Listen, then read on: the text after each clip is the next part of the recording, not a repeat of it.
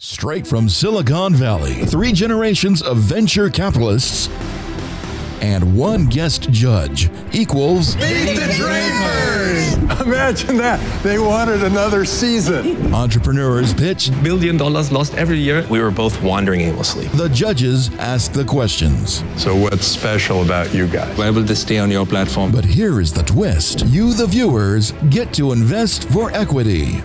This is your chance to own a piece of the next big idea. To invest in a company, go to meetthedrapers.com, find them in this week's Entrepreneurs, and you can invest. You can share in their future success. At the end of the season, the entrepreneurs with the most funds raised are brought back for the season finale, where Tim Draper invests in his favorite company. Become an entrepreneur because it's easy to get money. And that didn't happen in Wall Street.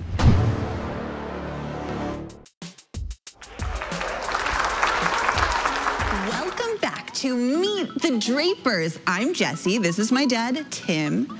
This is Andy Tang, our incredible world-renowned venture capitalist from Draper Associates, and he's also CEO of Draper University. And today, for the first time ever on Meet the Drapers, we have Q Motiwala, who runs Draper Nexus. And Draper Nexus operates here and in Tokyo. They have a lot of corporate investors, so it's sort of an interesting expertise looking at these entrepreneurs through a corporate lens. It's going to be fun to have Q talking with us. So this is, we got a whole Draper gang here, Yes. That's right. right? Yeah. Today we wanted to talk a little bit about company culture. What cultures do you look for? What do you think about when you're doing a company culture? Before you even go there, you got to set your own firm's culture. So if you don't have the fun culture, how are you going to go tell the entrepreneur? We've done some unique things. We've tried to keep a very flat culture. We try to have a lot of meets where our Japan team comes to the US. We rent a big house. We'll divide our teams and do cooking and have cooking competitions. We might do a 14, 15 mile hike. What can you cook? Indian curry is what they assign me. Oh, perfect. What we try to tell them is don't do things that are going to demotivate them. So we just try to apply the same things that we have. My first job was in the 90s. So I joined a big company, Motorola, and there it's all about what you could do for the company. But now, you know, when I work with my team, you know, they're really the millennial generation, I really have to start thinking a little bit differently. This is a very collaborative environment. And I started thinking about sort of this idea of how do we make your job so it align with the company goal? It's not all about the company, it's about what the employees could learn, how they could grow. If you take a genuine interest in each one of them, it, comes back. This is clearly my bias, and it's the way I like to manage, which is driving a vision forward, but not giving too much guidance to the team as to how they're going to get there. So that the team has to think for themselves. They're more engaged because it was their decision to jump and do this. So I like the great visionary leader, the Elon Musk or the Steve Jobs, saying, no, we have to have one button, or the, the car has to go 600 miles instead of 200 miles, and then leaves it up to the engineers to go figure it all out. Then everybody seems to have a little bit more fun, they're more excited about it. Dad, I love that. But I think in general, Yay! I think in general, also This something may be a first on camera. um, something you've taught me, and same with my grandfather, is just to lead with positivity and really create that positive vibe around everybody. And so, if you're excited about the vision and the direction you guys are going, the team will be on board. You have to try to say yes more often than you say no. the caveat there is that you don't do that with I entrepreneurs. was about to say, I was about to say, you gotta say no a lot to those. I completely agree. So should we? That's two. Two. So sh- what do you think? Should we bring on our first entrepreneur? Sounds great. But first, let's take a look behind the scenes. My name is Kobi Wu. I am the founder and CEO of VisuWall Technologies. VisuWall, in its simplest form, is a marketplace to put advertising in the window. VisuWall started in B school. I was at a competition and we won. This idea at the time was just a marketplace, no technology behind it. The model itself has been doing what it's supposed to do, I think. We were able to build and make relationships with people no problem. The hard part kicks in when you don't have the money and you don't have a team that's committed to the business because you're not paid paying them full time. That was hard to kind of figure out how to get people to buy into the dream. And after a while, I started learning how to actually convey to people that this is something that you could be a part of as well. You can create something for your family. I think Jessie and I might have some stuff in common. She seems to be into girl power and wanting to kind of understand how we work and the, our needs. I, I think she might have the most interest in VisuWall, or if not VisuWall, me. Welcome to Meet the Drapers. Give us your pitch. Thank you so much. My name is Kobi Wu. I'm the founder and CEO of VisuWall Technologies. The premise of VisuWall is very simple. What we do is we take vacant commercial real estate as much as we can get our hot little hands on, create a supply of it, and then present an aggregate of this supply to advertisers, media buyers, brands, et cetera, and say, hey, put an ad in it that looks like this. Behind this ad, we have a very simple sensor in window one like this that looks outside and counts the number of people walking by. Tells you if there's as many faces that are looking directly at you, how long they're looking, male female breakdown, sentiment, and even approximate age range. The dashboard of analytics provides you with an easy and digestible outlook. You can take action and make decisions based on that, and that works for both advertisers and the property owners. To date, we've been making some decent traction across the last 18 months or so. We are looking at growing our supply in New York City and in Los Angeles.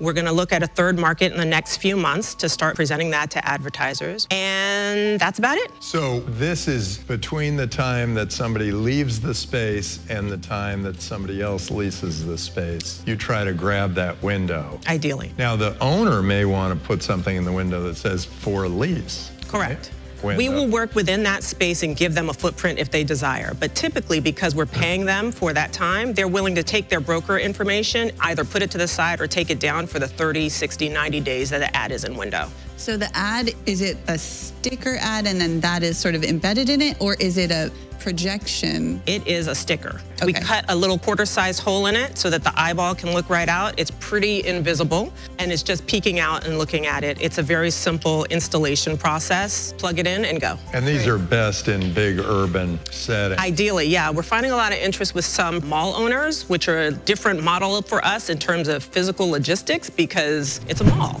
and there is strictly pedestrian, not also street traffic. But it's also very interesting to us because it helps those property owners actually understand how many people are entering the space, how many people are dwelling in certain areas more frequently than maybe others.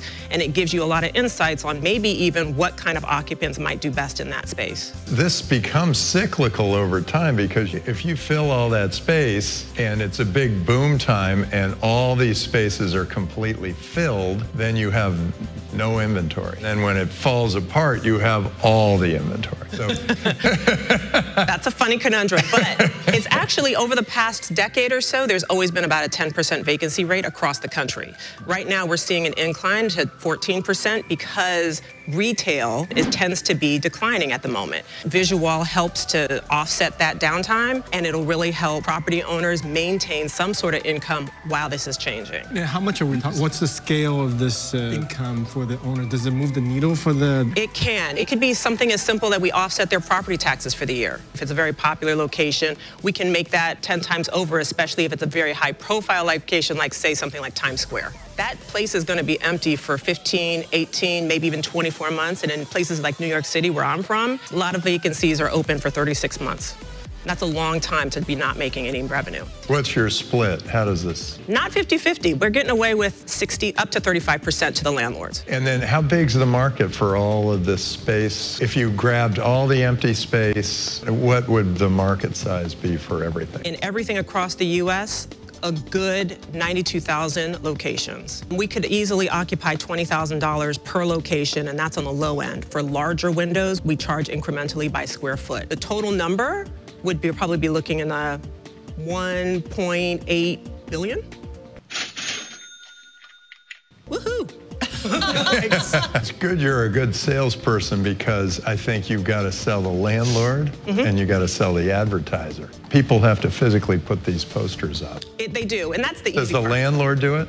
No, the landlords don't have to do anything. They just okay. have to say yes. Say yes, get money. Correct. Yeah. How much revenue did you say you were making annually? We've only been around for about 18 months. Okay. So in our first six months, we made about 250. We're looking at about three to 500 in the next three months. Okay. So that we will be able to claim a million dollars at the end of the year.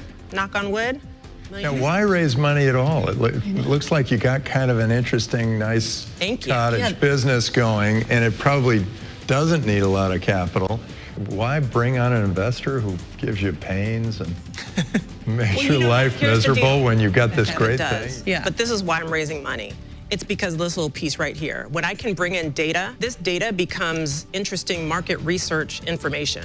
I can flip this and provide insights to different business industries, and I want to grow this component. Terrific. Great. Well, thank, Thank you so you. much for coming to meet the Drapers. Thank you so much. All right. Thank you so much. It was Thanks nice to meet you. Thank you. Cool. Thank you. I think it went really well. All of the judges were, you know, very engaged the entire time, asking tons of questions, even kind of interrupting me a little bit here and there, which I always find is a good sign. Seasoned folks like the Drapers, they're going to ask questions that they know are going to make the business go, or the challenges or pitfalls that I might face. And I feel like I answered them effectively to the point where they are like, okay, she's she's got some she's got some chutzpah. She knows how to make this go a little bit. I don't want to get too cocky, but I think it went well enough. VisuWall is at a stage now where we're ramping our product development. And what we want to do is really create an aggregate of data that can then be resold and can grow our business beyond just the point of entry today, which is the marketplace and licensing the windows for advertisers. What we're really doing is creating the data. And if you want to be a part of our team, invest in VisuWall's campaign on Republic. So, what did we all think? What did you think, Q? This looks, you know, really good. I think instead of thinking of windows just in the malls, I'd like to think of windows of Uber drivers, you know, taxis and things like that. It could really, it could be really big, but not sure if this is for the VC model. I the felt way the it- exact same way. I wasn't sure if this was a VC investment. She's dealing with marketing dollars. It is a pretty cash heavy business. I feel like she could sell a lot and be able to fund the company based upon that pretty quickly. I like the idea of a problem looking for solution versus investing in a sexy solution looking for a problem. I find that once she could get the revenue, the cash, she could probably f- find the right tech talent to implement. So the idea of that little camera and data is, is pretty interesting. So yes, as is, it's probably not a venture backable model. So it's, it's an interesting prospect for a year from now, I think. I really liked her. I thought too. she really had something that strength and intelligence and drive. And a lot of companies have done really well with alternative ways to advertise. Uh, Focus Media, in China was just putting these little TV screens in elevators. It's now worth 10 or 20 billion dollars, I think. And it's probably good for a crowd fund because as a venture model, it's a tough one because you're saying there are no barriers to entry. It's an ad model that's kind of odd, and this is a tough way to run a business. But if it starts working, it's going to be pretty big. Okay, well, should we? I think vote? we need to go to the visual. First, you go to the crystal ball and you just see what the crystal ball sends you. What is it sending What's you? the? So you got the energy, and then you go, okay, I got it. Ooh, Okay, should we vote? Yeah, so absolutely. here's how we vote. We do thumbs up, thumbs down, thumbs all around, and then you go up or down or middle or whatever you're feeling.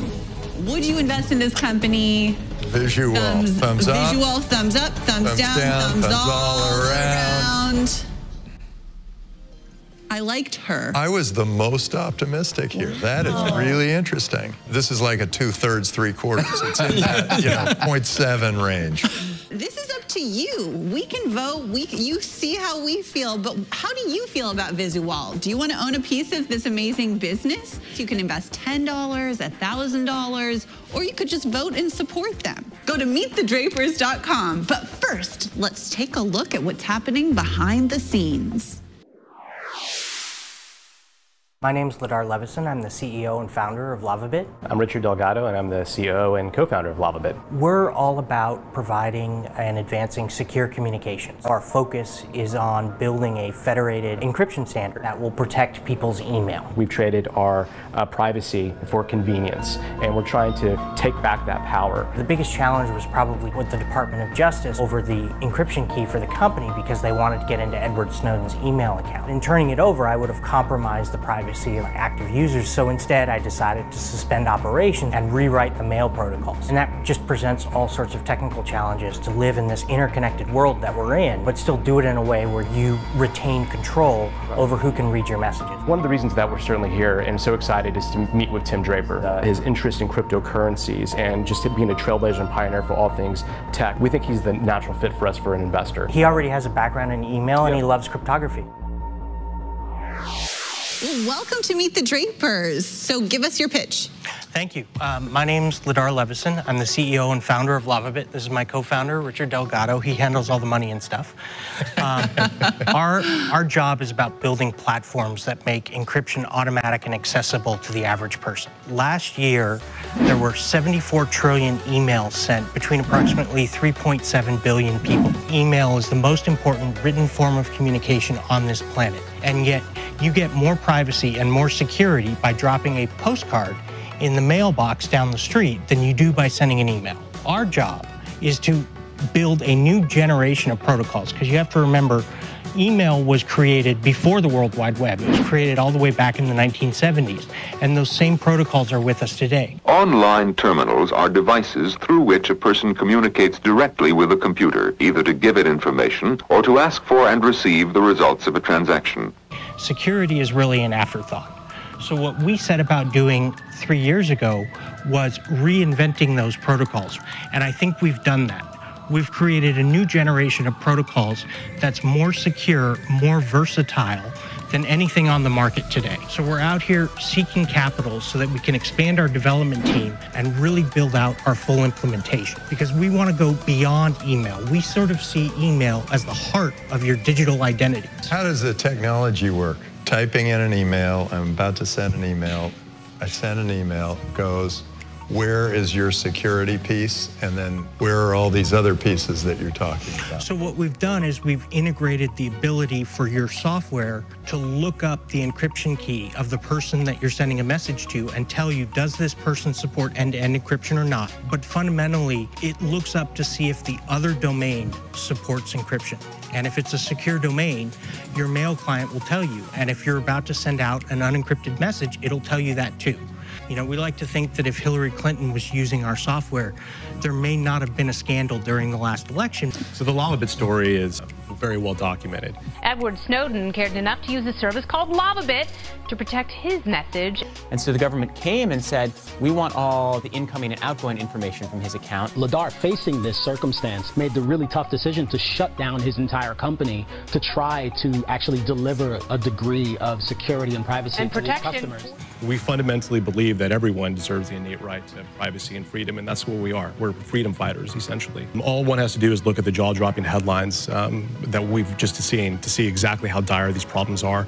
And that's what we're trying to do is restore privacy back into um, modern communications. Isn't security and convenience a zero-sum game as far as consumers go? It, it's a difficult problem. Sure. You know, there's this trade off. They say the more automatic you make something, the less secure it is. And that's why it took us three years because we really had to develop things from the ground up. And I like to think that what we did is gave you the most amount of security you can get while keeping it automated. In case you sent me an email, if I had to forward your email to Tim or Andy, would they be able to see that email or no?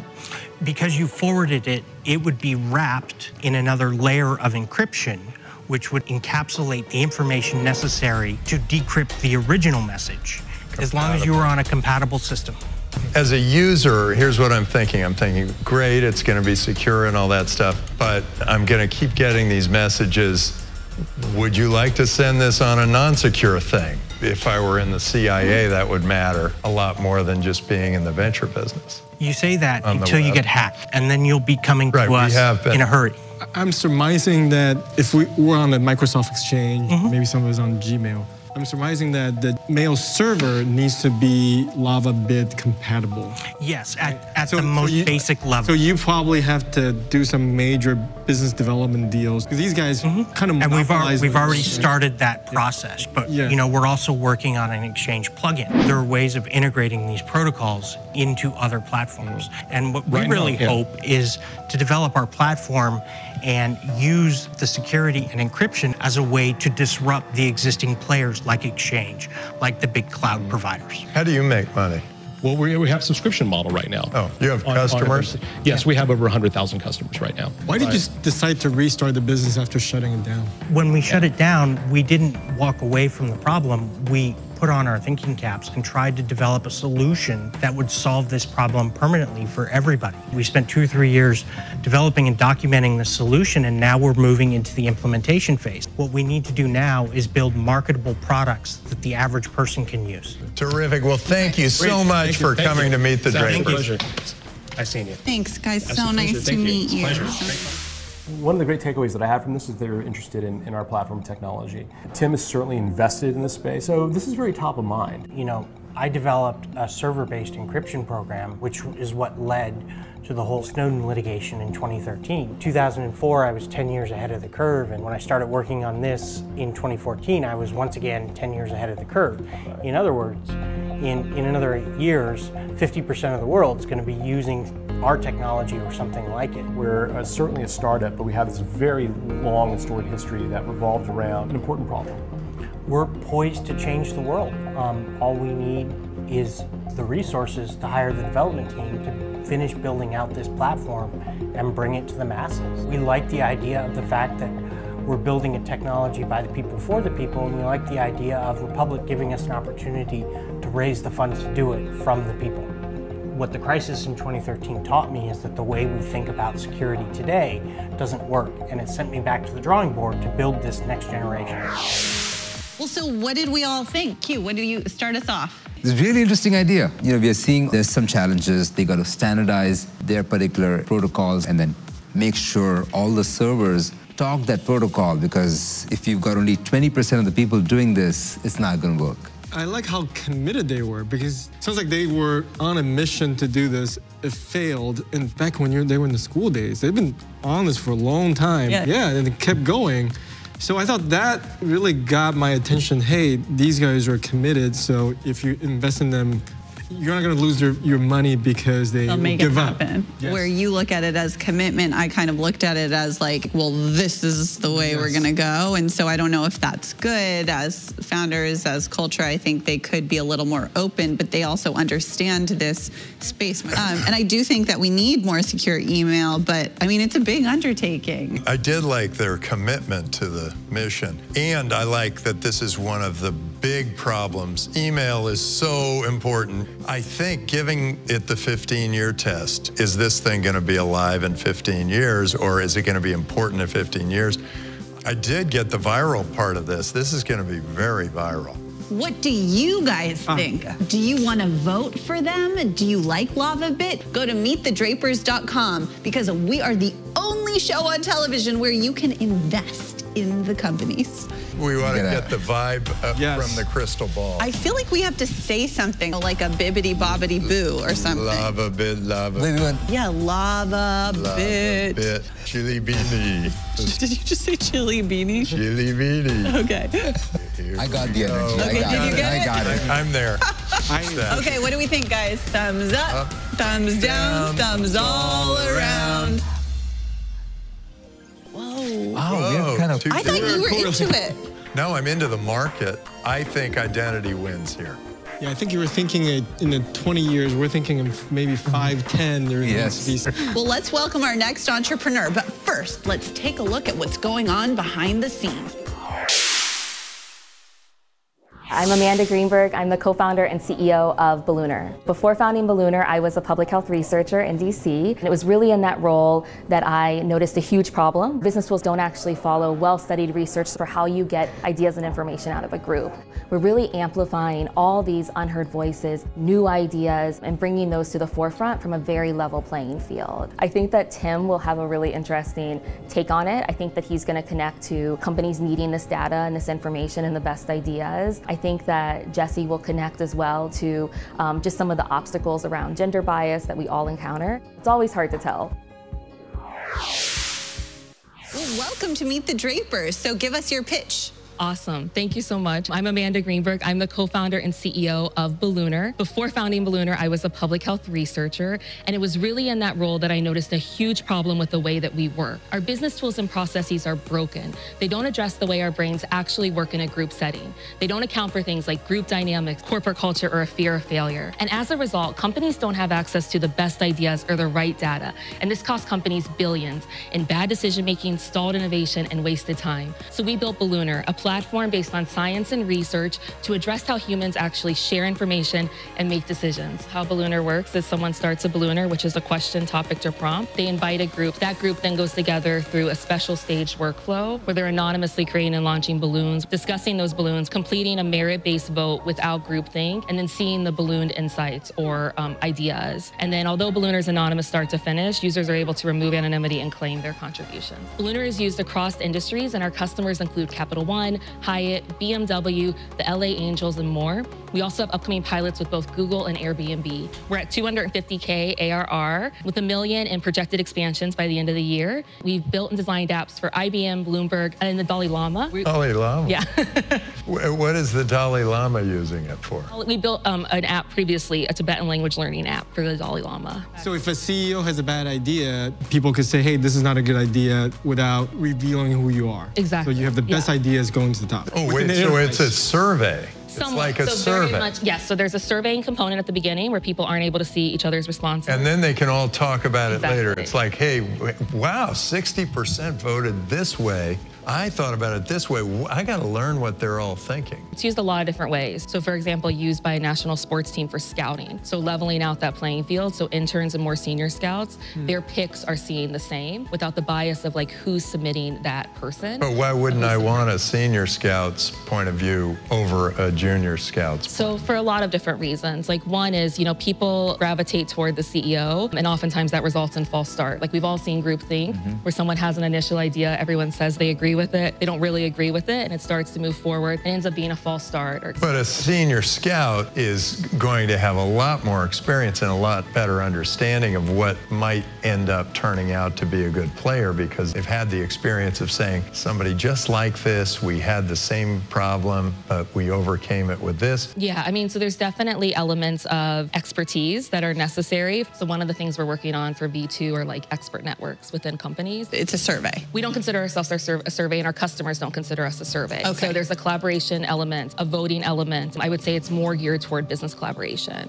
It's Slack with anonymity. In an enterprise, in Slack, I just took out the title and the name of the person. So what have you really done besides anonymizing the person? So one is randomization. So in Slack, if you like post a question, right, everyone just like it goes on forever. People just write responses. There's no way to really come to a consensus there. So we help to surface all of those insights, all of those ideas in a much more streamlined way. But that's just more features. You know, I think maybe what you're getting at is, is this something Slack could just implement? Yeah, so very different flow. So it starts around this ballooner, and then people are able to discuss them in a different way, randomize, vote. What's your background? Have you run anything before and how did that go? Yeah, so I was a public health researcher before. I designed and developed um, national behavior change campaigns. So working for the government? Yeah, Public somewhat. health Outside the government, but for the government. Yeah, so I completed my undergraduate at Dartmouth College, and then I went straight to graduate school, graduated first in my class from the top public health school in the nation. I was a researcher, and then I planned to go to medical school, but I became obsessed with this problem and left that role and started Balloonr. This is what I was guessing. You were first in your class, but nobody was listening. You knew everything, but nobody was listening to you. No, so opposite. So what happened is when I was a researcher, I was trying to get ideas and feedback and information out of my Yeah. team. And I tried like everything available to me. So I sent surveys, I scheduled meetings, they would get louder, more senior voices would dominate conversations. I'd post things mm-hmm. on Slack or send an email and it would just like Well, you go on should have forever. been in the private sector. I know, I know, I The know. government workers are not really I know. anxious to, you know, participate But then your. I started getting like these one-off phone calls and emails from people who were like more junior than me, and they were sharing these insights that were like game-changing. And I was like, "Why are you coming to me versus everything I put out there?" And they were like, "I'm new to my role. I didn't know if my ideas were good enough." And so through that, I was like, "Okay, I'm a researcher." I dug into the research and was just shocked. Like all these business tools and processes we use, we just accept, even though they don't take into account all these different issues with group dynamics or corporate culture or how humans actually work. Talk about culture. So, what's your co-founding team, and what's the company culture you're trying to instill? We're a five-person team. My co-founder went to Carnegie Mellon. He was a full-stack developer designer. How did you meet your co-founder? We're married co-founders. Oh, interesting. Yeah, so very much a great complementary fit and match. That's How's this that problem. going? Yeah. it's great. And you're the CEO. yes, yeah. And he's Noah's the CTO. CTO. Yep. That actually may work. I think it's That a huge advantage. actually May work because you have separate responsibilities. If you disagree on something, who wins out? I went out. Yeah, yeah. And that's how we've always done it. uh, You know, The way it works in my family. Yeah. we've always done it like that. Like we'll, you know, have a disagreement and then, yeah, we figure it out. Do you have anything to fall back on? Like you run out of money and like what do you do? I mean, we're pretty gritty and unstoppable. So we're selling, we're doing well, we're growing our company. And yeah, we believe in what we're doing and we believe in our mission. So we've never really thought about it like that. We see our happy customers and we see the results we're getting and we hear their accolades. And so we know that we're going in the right direction. Well, good. Thank you so All right. much. Terrific. Thank you Thanks so for much. coming to meet the Drapers. So nice to meet you. Pleasure meeting you. Thank you. It's fantastic. Thank you. Appreciate it. I think it went really well. Um, really interesting questions. It was great to share uh, just more about our company, more about our vision, more about our traction. I love seeing different people's takes on what we're doing. It's always exciting as a founder to share your vision, your mission, your company, your traction, et cetera, and get feedback, um, especially from like world-class VCs. You know, we've had investors who I didn't think would be interested at all, who ended up being our, our largest champions and backers. We're really bringing something new to the workplace, and we're really focused on creating a meritocracy to drive better outcomes, decisions um, for the world. Well, so what do we think? What do we think? Andy, why don't you start us off? The part I really liked was when Tim asked her who was in charge, and she said she was. So without hesitation, that was all in. So that was great. The, the product itself, I have noticed there is a trend of corporate culture collaboration tools. So I like that. But I do think it's still, still a little bit early in that they seem a little bit of feature Yeah. on the Slack. So Totally. So overall, you know, I think it's interesting, but still lots of um, diligence to go through. It was really difficult not to see the product, I think, because True. she was a, a fantastic founder and I would bet on her. She seems amazing. But yeah, it seems like a feature. I feel like for years and years and years, these anonymous platforms have existed. Right. So it's nothing like life changing. Even though she's saying they're not a survey company, I think they are. That's one of the things that they do. And so I wasn't super into the idea. I just love this particular CEO. She was just fantastic. This innovation in large companies, whether it's the Cisco's or Google, Google is an exception. All those companies that are just dying, no new ideas, this is exactly in the trend line. But they just need to change the way they're going to go sell. I could imagine being a leader of a business and thinking, what's everybody thinking about down there? Any interesting ideas? And occasionally putting out a balloon or so that interesting things might rise to the top. And those big businesses that are all kind of top down and lots of people working, but just not really giving the input that they should. This is sort of an interesting way to get that input up. So I think that the business has a possibility, but she is a force of nature. I don't know if I'd bet for her, but I certainly wouldn't bet against her. So true. With that, I think we should consult our crystal ball, Yes. don't you? I think w- the, Oh, this, this is is the gonna be a- big balloon here. We might not need to touch the. Balloon. No, I don't think I can reach it, but I'm feeling the force. Are we going to fund her? Thumbs up, Up, thumbs down, down, thumbs, thumbs all all around. I'm undecided. I'm way up. It's a founder versus business Oh thing for God. me. Oh, we got one for you. Look at that. We got Wow. one oh, sort of No down. thumb sideways. it's one, up. I'm you're, you're a little Yeah. down. You're a little up. I'm the Jesse. way up. Well, there you have it. But you get to decide. It's up to you.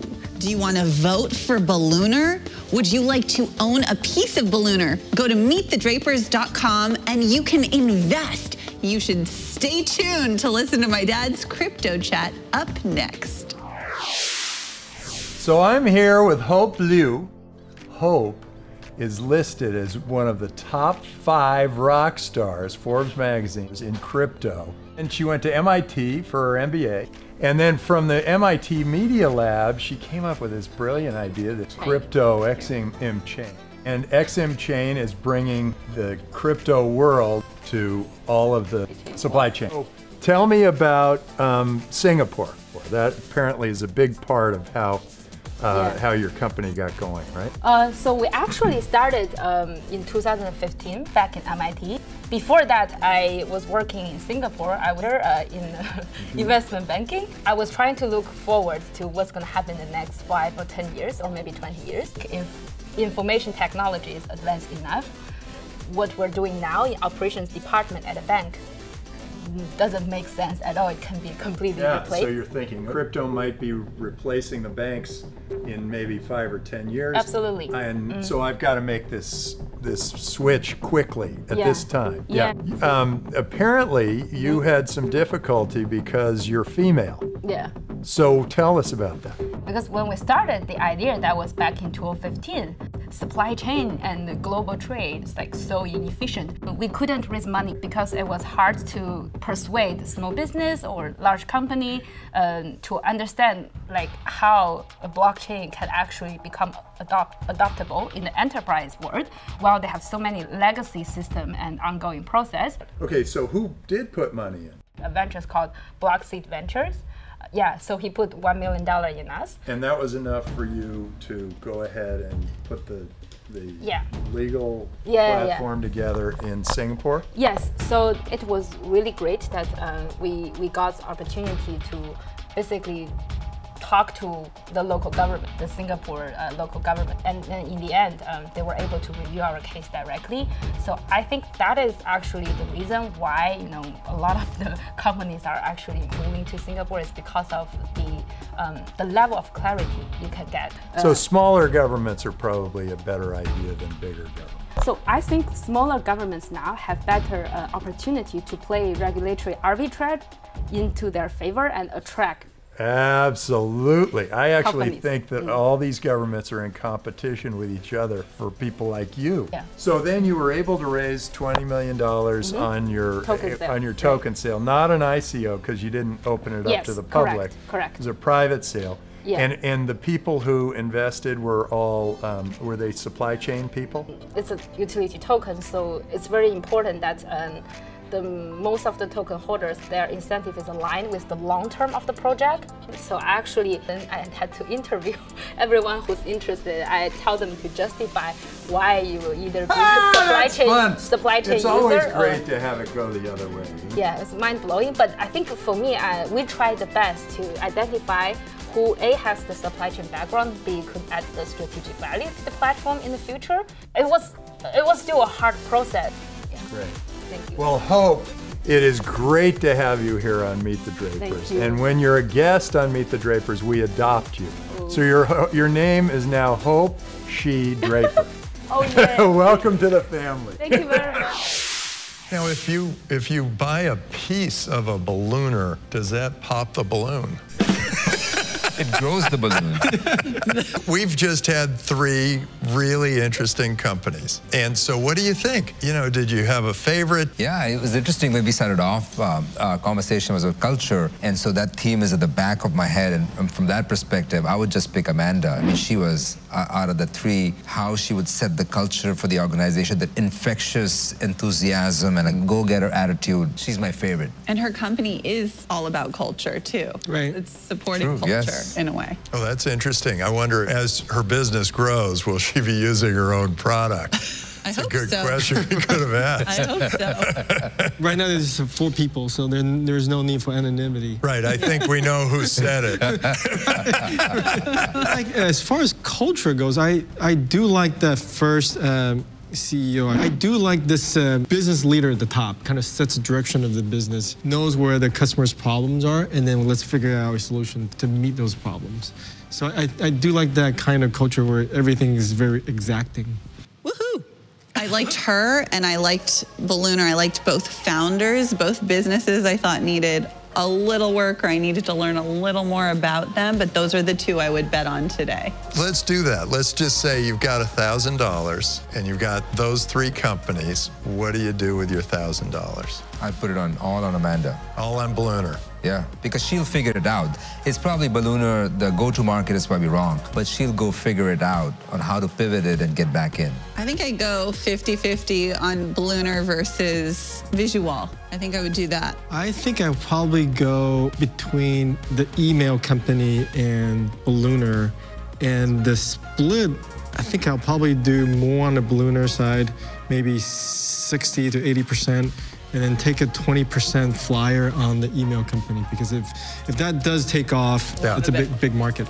yeah, I would probably do about 80% with Balloonr, and I would probably put 10% on Lavabit just because email, it could be just a Yeah. huge Yeah. business. And then another 10% on VisuWall. VisuWall. VisuWall. So you're saying the entrepreneurs today were pretty great? They were all worth thinking about investing in. Yes. Absolutely. And this final entrepreneur with Balloonr just blew my socks off. Yeah, she was You know, great. if the other two weren't so compelling, I would have said 100% behind her. Wow. Well, what do you think? Go to meetthedrapers.com.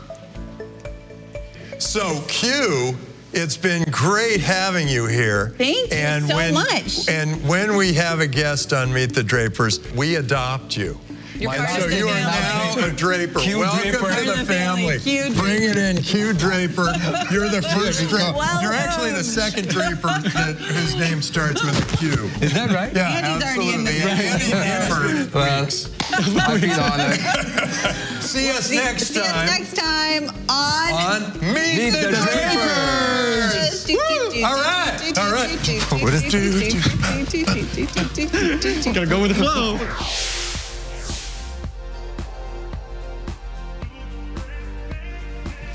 Who's ready?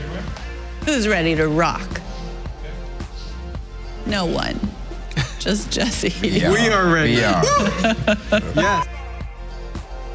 You got it? Thank you. Okay, you're good. I love how tall you are. I, I, Rock it. I see you. I Yeah. see you. All right. Thank you.